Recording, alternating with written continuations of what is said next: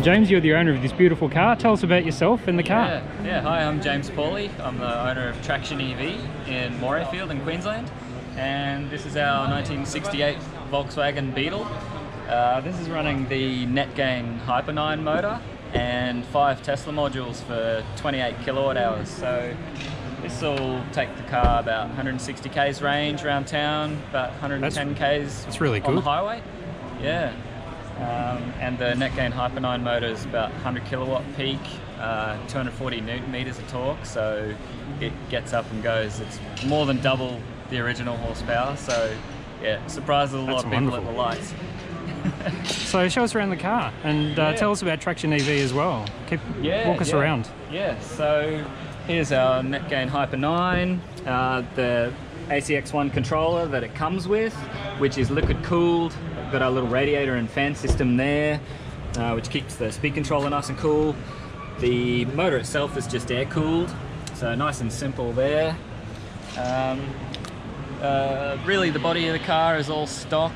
I have lowered it. It's not the weight of the car. It's only 60 kilos heavier than the original car, but They the weight bias, yeah, they do, and it handles really well. You can really throw it into a corner. It's good fun.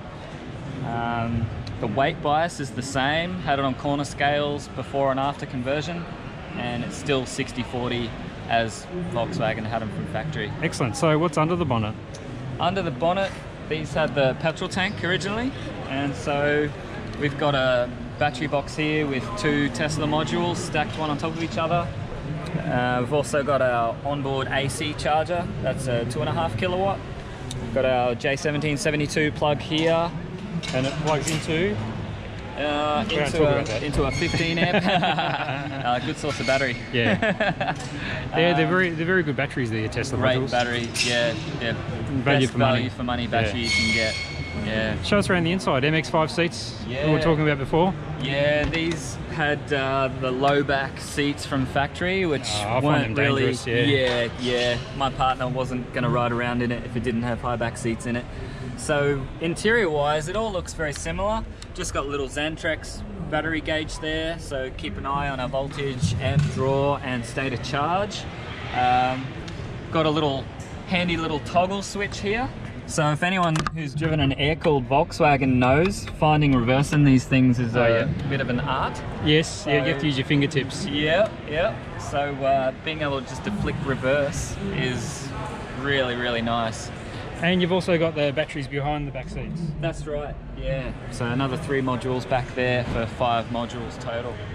Yeah. So Traction EV is a business. Traction EV um, took it full time in January. It was a bit of a side business up to that point, but getting busy enough now. I've got um, cars waiting to be converted.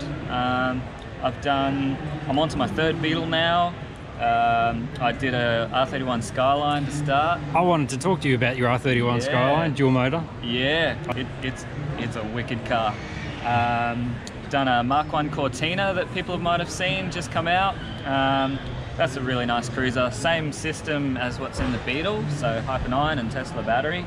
But we put uh, DC fast charging in that. Got CHAdeMO port where the exhaust um, tip used to be, Okay. and it's got aircon as well. So it's an awesome cruiser for Queensland weather.